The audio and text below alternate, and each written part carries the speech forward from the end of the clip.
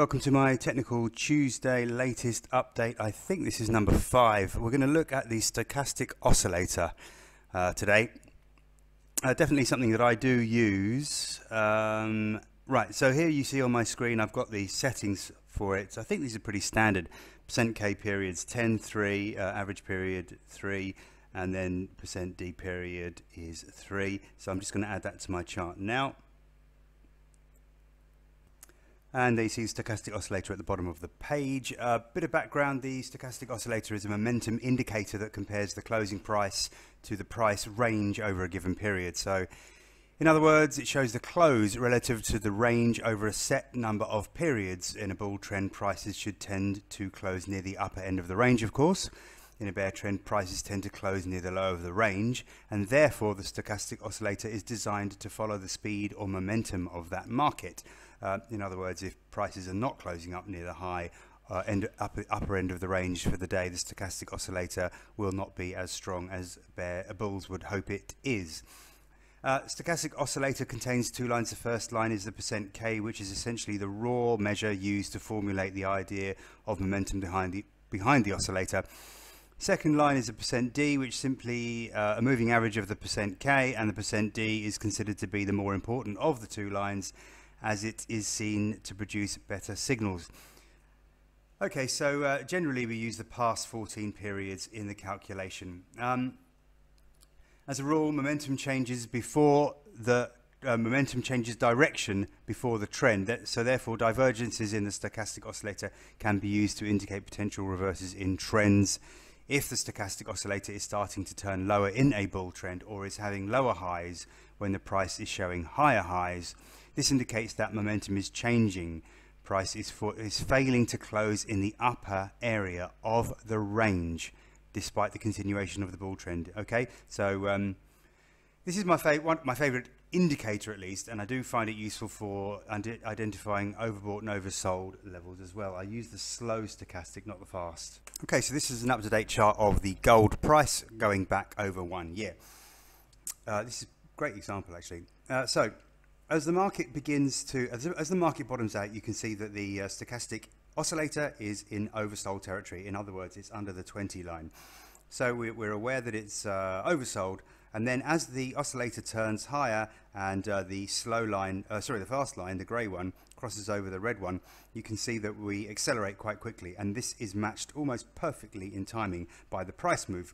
As we begin to get overbought, uh, there's a little warning that we're getting overbought and eventually the price does react and has a small correction as you can see bringing the at least re, um, allowing the uh, oscillator to trend lower we then bounce. You, you see we're, we're, developing into a bull trend. Of course we don't know we're developing into a bull trend. So this is something you've got to be careful of.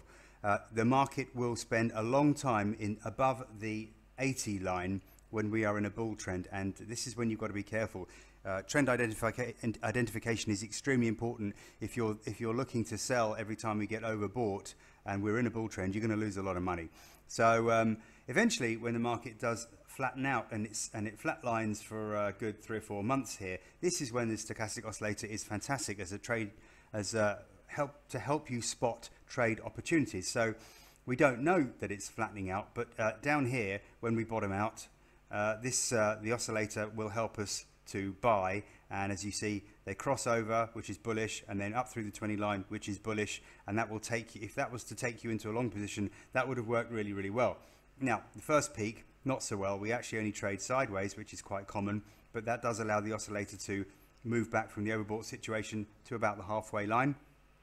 Then we rally again but this time it would have been a quite a good opportunity to sell. If you combine it with other things for example look at that big negative candle up there. A couple of big negative candles, in fact, bearish engulfing, bearish engulfing. So, uh, with other with other uh, with other tools that you know from your technical analysis toolbox, uh, that would have indicated that perhaps it would be a good sell if you thought we were entering a sideways trend and the uh, moving averages are actually moving quite sideways.